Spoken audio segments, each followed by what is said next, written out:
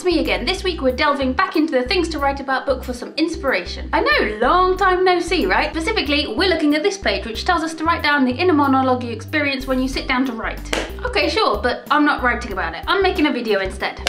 I don't have any chalk to write on here, but I got it for Christmas and I just wanted to use it in a video. Okay, it's writing time. Time to make the magic happen. The magic isn't happening? Why isn't the magic happening? Ah, oh, I don't have tea. Tea always helps me think. I'll go and make myself a cup. Right, now we can start. The tea isn't working. Why isn't the tea working? Okay, let's not panic. The tea seems to be a bit broken, but let's not lose our cool over it.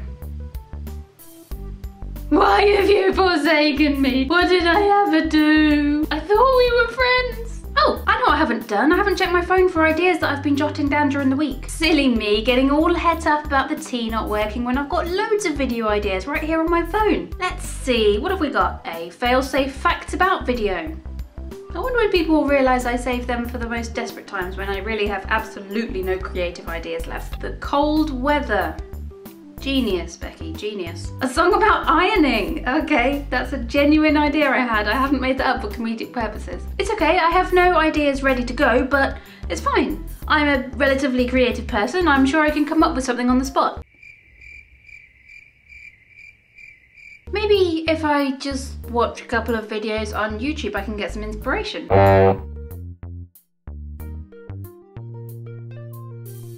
Oh crap. I can do this.